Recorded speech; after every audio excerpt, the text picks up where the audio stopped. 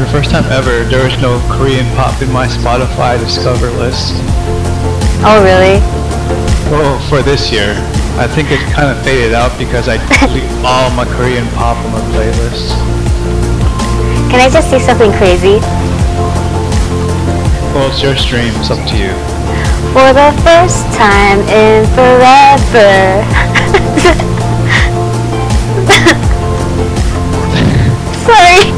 I had to. I, I made two references. I know the first, but what was the second? Um, Tangled. Oh.